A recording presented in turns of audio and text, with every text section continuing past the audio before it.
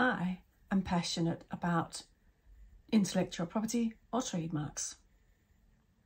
Now, I remember when I was a little girl, I would hear my mother, a world renowned ceramic artist, vent her frustration at people copying her work. Even after I had got my master's degree in law, she still refused to listen to me, and that's when I knew I was onto something. I support entrepreneurs to ensure that their brand is registered as a trademark.